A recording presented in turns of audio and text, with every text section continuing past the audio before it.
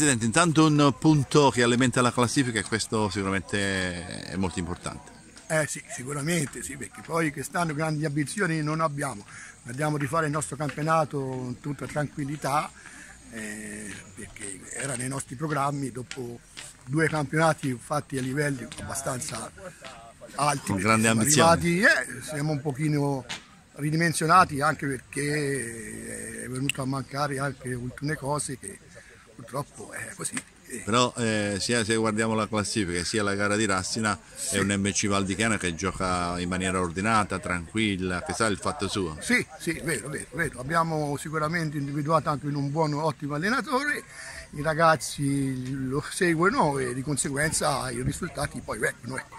Certo, poi c'è Salvatori che può fare la Beh, differenza Salvatori momento. quando gli capita le punizioni da- nella sua posizione, insomma, è un buon cecchino.